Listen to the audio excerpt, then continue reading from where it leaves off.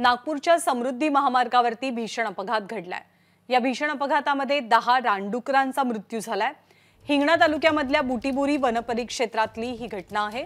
समृद्धी महामार्गावरचं अपघातांचं सत्र थांबत नाहीये. या महामार्गाच्या बाजूनं वनक्षेत्र सुद्धा जातं.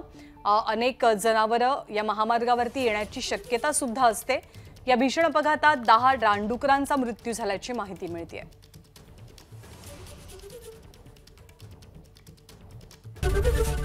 एबीपी माझा उघडा डोळे बघा नीट।